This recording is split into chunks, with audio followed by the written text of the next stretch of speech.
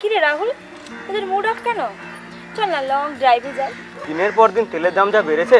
জানিস না মালদায় প্রথম সমাধান মার্কেটিং নিয়ে এলো ইও বাইক চলে পাঁচ টাকায় ষাট কিলোমিটার লাগে না লাইসেন্স লাগে না পেট্রোল নেই কোনো ধোঁয়া।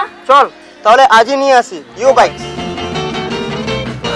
no petrol Yo Bikes ভারতের সর্বাধিক বিক্রিত ইলেকট্রিক টু হুইলার নিয়ে এলো সমাধান মার্কেটিং মির্জাপুর মোড় ওল্ড মালদা রোড বাচামারি। মালদা